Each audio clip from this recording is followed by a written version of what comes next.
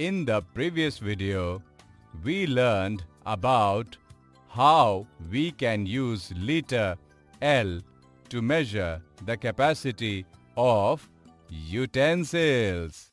In this video, we will see some misconceptions related to this.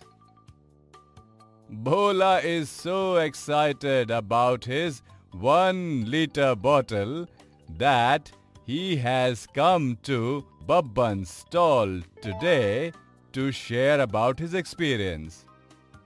Bhola told Babban everything about measuring the capacity of utensils in liters and also said about how Golu gave him that one liter bottle. Babban asked Bhola if he can see his bottle. Oh no! What happened? The bottle slipped from Bhola's hand and fell on the ground and broke.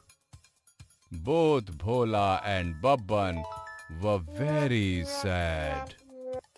Babban asked Bhola if they should both go to Golu and take one liters of bottle for themselves. Bhola and Babban reached Golu's dairy.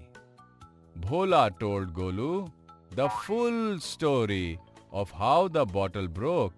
So he needs a 1 liter bottle for himself. But uh, Golu only had one such bottle.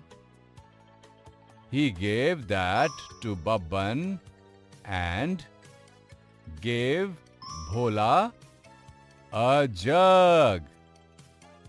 Bhola immediately said to Golu, What is this, Golu? You gave me this jug instead of a one liter bottle. We can only measure using a one liter bottle, right? Children, do you think Bhola's statement is true? Golu laughed. He took the jug from Bhola and poured milk from one liter measure into the jug. The jug was completely filled with milk.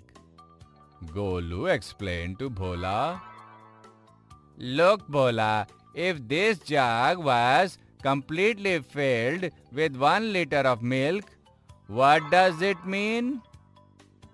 Bhola immediately replied, This means the capacity of this jug is one liter.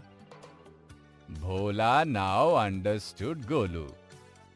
Children, remember that it is not necessary that only a 1 liter bottle has the capacity of 1 liter. Capacities of different types and sizes of utensils can also be the same. Just like we saw here that the capacity of both the bottle and jug is 1 liter. Come, let's try it out using more utensils.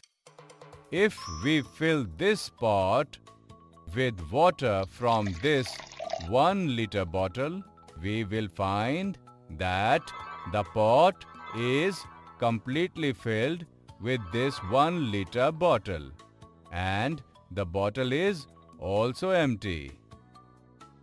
In this way, how much is the capacity of this pot? That's correct. 1 liter. Now, can we fill this pot of water? Let's find out. Oh wow! The pot has completely filled with 1 liter of water. This means the capacity of this water pot is also 1 liter. Children, you have seen how even though these utensils are different and their shapes also different, their capacity is the same as 1 liter. Bhola and Babban said thank you to Golu and happily returned to their homes taking their bottle and jug. Children, in this video, we saw some misconceptions related to using the liter to measure the capacity of different vessels.